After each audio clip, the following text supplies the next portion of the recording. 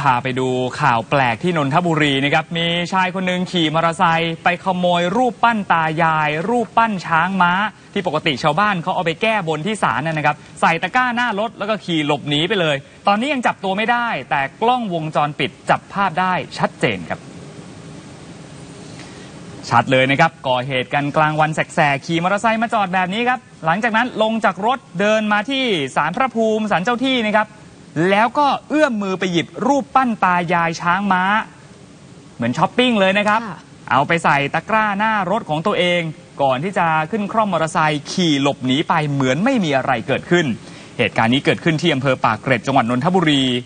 ด้านพนักงานร้านซ่อมรถยนต์บนถนนชัยพฤกษ์อำเภอปากเกร็ด ก็เล่าว่าวันเกิดเหตุตอนประมาณ7จ็ดโมงเช้านะครับ ตัวเองเนี่ยเอาของไปถวายที่ศาลพระภูมิแล้วก็ศาลเจ้าที่ ปรากฏว่ารูปปั้นตายายช้างม้า ที่วางอยู่หน้าศาลมันหายไปครับ ก็เลยเอะใจไปเปิดกล้องวงจรปิดดู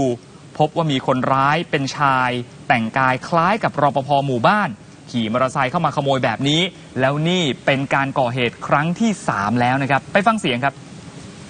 มาสามรอบค่ะ รอบแรกอะมาเอาเป็นช้างม้า เอาแต่ม้าไป แล้วเหลือช้างไว้ให้เราตัวหนึ่งฝั่งตายาย แล้วก็รอบที่สองมาเอาเป็นคนรับใช้คู่บ่าวสาวอะ คู่หนึ่งแล้วก็เอาผู้หญิงฝั่งพระชัยมงคลไปแค่คนเดียว แล้วก็รอบที่สามสุดท้ายเนี่ยคือมาเอาตัวตายายไปเลยคุณผู้ชมคุณเฟ้นไฟรายสงสัยไหมฮะ ขโมยไปทำไมเออนั่นน่ะรูปปั้นตายายแล้วมันก็ไม่ได้ใหญ่มากด้วยนะ อันเล็กๆอะอืมที่หยิบหยิบหยิบหยิบไปแล้วก็ไปใส่ตะกร้าหน้ารถแบบคืนี้อจะเอาไปขายต่อจะได้สักกี่ตังค์แล้วคนจะรับซื้อไหม หรือว่าเศรษฐกิจมันแย่ขนาดนั้นเลยเหรอ ต้องขโมยรูปปั้นนี้ไปขายแล้วเหรอเออคือเราสงสัยนะ พนักงานร้านซ่อมรถยนต์ก็สงสัยเหมือนกันค่ะเขามองว่าคนร้ายอาจจะขโมยไป เพราะว่ามันไม่มีขายใน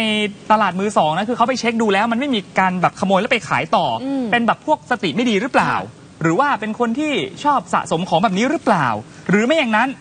อย่างที่บอกว่าแต่งกายคล้ายกับรปภใช่ไหมค่ะอาจจะเป็นรปภของหมู่บ้านใดหมู่บ้านหนึ่ง แล้วก็หยิบรูปปั้นพวกเนี้ยเอาไปวางแทนที่ที่หมู่บ้าน เพราะว่าทางหมู่บ้านมันถ้าเกิดเขารู้ว่ารูปปั้นที่หมู่บ้านหายไป เดี๋ยวต้องซื้อใหม่แล้วราคามันแพงหรือเปล่าเป็นหมื่นกว่าบาทรวมค่าพิธีรวมตุ๊กตาแบบเนี้ยก็เลยใช้วิธีมาขโมยที่อื่น เอาไปวางที่หมู่บ้านตัวเองแทนหรือเปล่า อันนี้เป็นข้อสังเกตที่เขาตั้งขึ้นมานะครับ